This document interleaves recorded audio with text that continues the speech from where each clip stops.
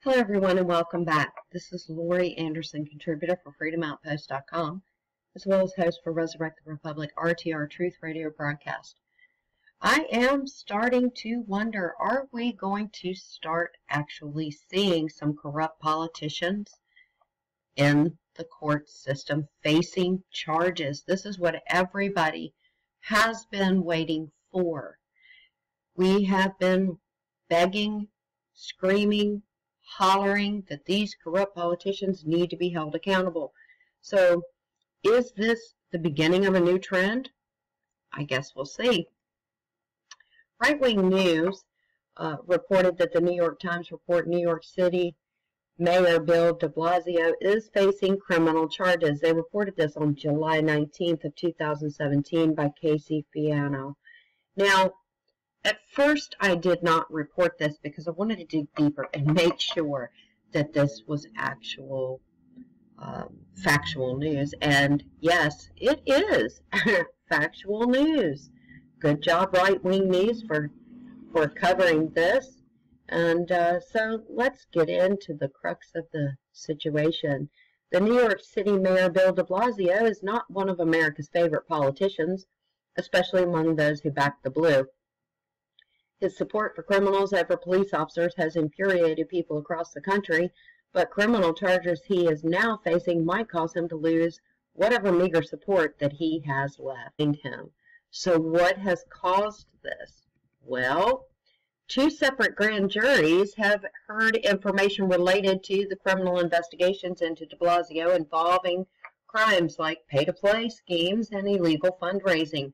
According to the New York Times, de Blasio used these illegal fundraising efforts while campaigning, while potentially sticking New York City taxpayers with the bill. Who is surprised by this? Why are we not seeing Hillary Clinton in these handcuffs for pay to play? It is alleged that de Blasio, along with his senior aides, took hundreds of thousands of dollars, passed them through upstate New York county committees and then gave it to the Democratic candidates. This was in a failed effort to take the state Senate out of the Republican hands in 2014. And if the allegations are found to be true, then this would be a violation of the state election laws. Manhattan District Attorney Cyrus Vance Jr. is believed to be conducting the state investigation, while Manhattan U.S. Attorney Preet Bharara is heading up the federal investigation. The federal investigation is also looking into claims that de Blasio took contributions in exchange for political favors during his 2013 mayoral campaign. So far, the legal bills for the investigation into de Blasio is costing taxpayers approximately $2 million, something that presumptive challenger Nicole Malliotakis slammed him for. Our mayor is ethically challenged, Malliotakis said outside of City Hall. Quote, he has shown a complete disregard for the taxpayers today by saying he's going to use taxpayer money to pay for his legal fees. It is estimated that at least $11 million has been spent lawyers and various corruption probes related to de Blasio. The New York Times says that there are strong indications that de Blasio will be indicted. The grand jury activity appeared to be the strongest indication since the investigations came to light in April that prosecutors may be moving closer to one of the or more indictments, possibly against some of Mr. de Blasio's closest aides, the paper reported. Do you think de Blasio is guilty? Well, just to show you, um, the New York Times has reported on this.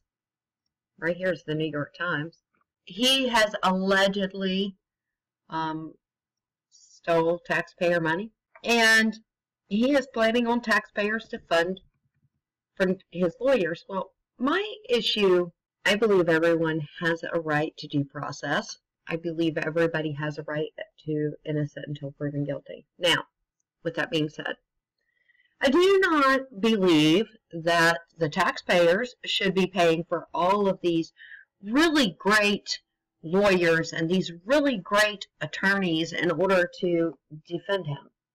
And I will tell you why. Yes, he may have been in his quote unquote official capacity. But the reality is, if it was you or I, we would have to pay for our own attorneys. If it was you or I being accused of such a crime, we would not be afforded excellent attorneys, especially not $2 million worth. Now, I know that some individuals are going to say, well, Lorri, you have a right to an attorney and they will uh, appoint you one. Let's make no mistake. De Blasio is not going to have a quote unquote court appointed attorney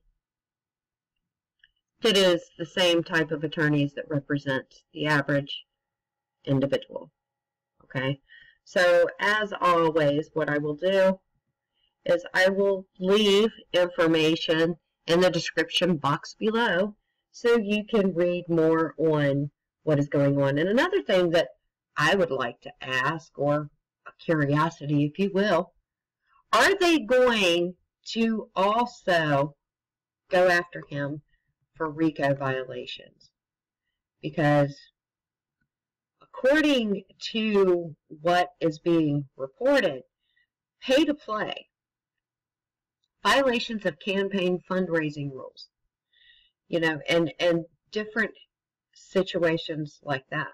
But when someone steps outside their capacity and what they're supposed to be doing, should they be um, afforded specialized attorneys just because he was a mayor? Yes, this is a very much interesting case, or will be. And hopefully, some of these corrupt politicians will finally start having to pay the piper. We will keep up to date with what is going on, and I will let you know. As always, watch your backs, check your facts. Semper Fidelis, and have a wonderful day.